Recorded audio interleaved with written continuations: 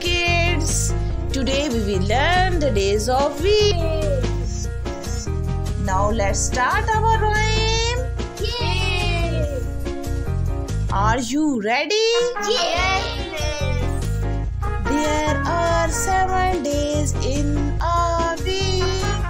There are seven days in a week.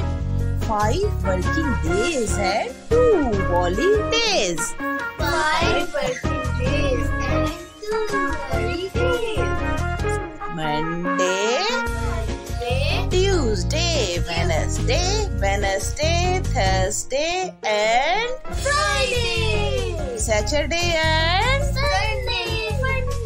Sunday is a fun day. Sunday is a fun day. There are seven days in